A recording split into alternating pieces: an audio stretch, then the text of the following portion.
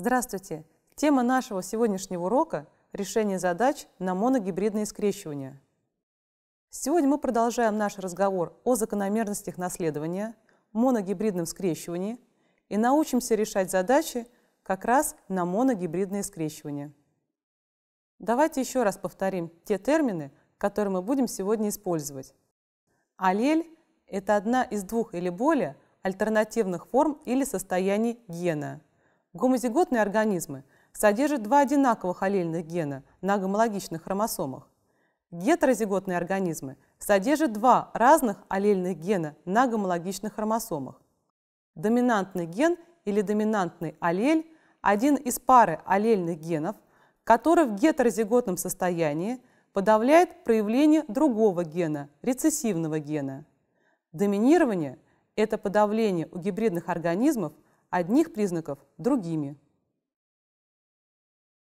При решении задач, то есть при составлении схем скрещивания, мы будем использовать следующие генетические символы. П. Родители. Родительские организмы, взятые для скрещивания, отличающиеся наследственными задатками – Символом, который обозначает женский пол, является зеркальце с ручкой богини Венеры. Символ мужского пола – щит и меч бога войны Марса. Знаком умножения обозначают скрещивание. F – дети, то есть гибридное потомство. F1 – гибриды первого поколения. F2 – гибриды второго поколения. G – гаметы. А, Б, С большими буквами. Это доминантные гены, отвечающие за доминантные признаки. А, Б, С маленькие буквы. Это рецессивные гены. Для решения генетических задач важно правильно написать условия задачи и схему скрещиваний с использованием указанной символики. Важно твердо помнить, что при образовании гамет в каждую гамету попадает из одной пары аллельных генов только один аллель. При этом гомозиготные организмы образуют один тип гамет, а гетерозиготные организмы образуют разные типы гамет. Для примера давайте разберем следующую задачу. У мышей коричневая окраска шерсти доминирует над серой окраской шерсти. При скрещивании – чистой линии мышей с коричневой окраской шерсти, с чистой линией мышей с серой окраской шерсти, были получены мыши с коричневой окраской шерсти. Каковы генотипы потомства? Давайте вспомним, что чистая линия предполагает гомозиготность по данному признаку, в данном случае по окраске шерсти. Обратите внимание, как записывается скрещивание – Родительские формы, обозначим их П, гомозиготные и имеют следующие генотипы А большое, А большое и А малое, А малое. И, соответственно, продуцируют по одному типу гамет. Мыши с коричневой окраской дают гаметы, несущие доминантный ген А большое, а серой окраской дают гаметы, несущие рецессивный ген А малое. Все потомки первого поколения, то есть поколения F1, гетерозиготны, так как они получают от одного родителя ген А большое, а от другого ген А малое. Поскольку ген А большой доминантен, все потомки будут иметь коричневую шерсть.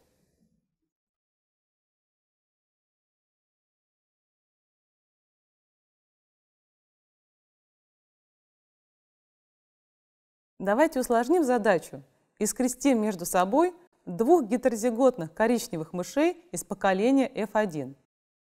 Поскольку родительские организмы гетерозиготны, поэтому они продуцируют гаметы двух типов. Половина гамет содержит доминантный ген или доминантный аллель А большое, а вторая половина гамет содержит рецессивный аллель А малое. При их сочетаниях образуются следующие генотипы. Одна четверть особи имеет генотип – а большое, А большое. Две четверти особей имеют генотип А большое, А малое. И одна четверть особей имеет генотип А малое, А малое. При этом особи, несущие доминантный ген А большое, имеют коричневую шерсть. Таким образом, в F2 мы получаем расщепление по окраске шерсти 3 к 1. У пшеницы ген карликового роста доминирует над геном нормального роста. Определите, какое будет потомство от скрещивания гомозиготной карликовой пшеницы с нормальной пшеницы, двух гетерозиготных карликовых растений пшеницы. Эта задача решается по тому же принципу, что и предыдущая. В первом варианте, поскольку родительские формы гомозиготны, то они имеют генотип А большое, А большое и А малое, А малое и продуцируют по одному типу гамет. Пшеница карликового роста дает гаметы, несущие ген А большое. Пшеница нормального роста – гаметы, несущие ген А малое. Все потомки гетерозиготны и имеют карликовый рост. Во втором варианте этой же задачи по условию скрещиваются два гетерозиготных организма. Исходные родительские формы образуют два типа гамет – А большое и А малое. Сочетание этих гамет дает три генотипа. Одна четверть особей имеет генотип А большое, А большое. Две четверти особей имеют генотип А большое и А малое. Одна четверть особей имеет генотип А малое, А малое. И опять мы получаем соотношение по росту 3 к 1. У томатов ген, обуславливающий красную окраску плодов, доминирует над геном, обуславливающим желтую окраску плодов. При скрещивании красноплодных томатов между собой в потомстве получено 9114 растений с красными плодами и 3021 растение с желтыми плодами. Каковы генотипы родителей, каковы генотипы потомства. Давайте рассуждать. Растения с красными плодами могут иметь генотипы А большое, А большое или же А большое, А малое. Если бы наши растения имели бы генотип А большое, А большое, то есть они были бы гомозиготны по доминантному гену, то в поколении F1 не наблюдалось бы никакого расщепления. И если бы даже у одного из родителей был генотип А большое, А малое, то в результате взаимодействия с доминантным геном другой гаметы, опять-таки никакого бы расщепления не наблюдалось бы. А у нас получается, что происходит расщепление в первом поколении примерно 3 к 1, что свидетельствует о том, что обе родительские формы гетерозиготны и имеют генотип А большое, А малое. В таком случае они образуют два сорта гамет – А большое и А малое. И только при их слиянии образуются следующие генотипы А большое, А большое, А большое, А малое и А малое, А малое, что соответствует расщеплению по окраске 3 к 1. В заключение хотелось бы сказать, что менделевские закономерности прослеживаются и на наследовании некоторых признаков у человека.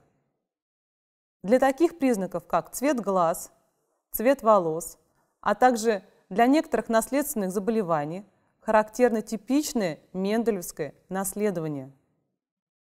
Одним из таких примеров является наследование цвета глаз у человека. Исследование родословных показало, что голубые глаза рецессивные, а темные доминантны. В соответствии с этим в браках голубоглазых родителей обычно рождаются дети только с голубыми глазами. В браках темноглазых родителей если оба родителя или один из них является гомозиготным, рождаются тоже темноглазые дети. Если оба родителя гетерозиготны, дети могут иметь как коричневые, так и голубые глаза. Таким образом, сегодня мы с вами рассмотрели некоторые задачи на моногибридные скрещивания, а на этом наш урок закончен.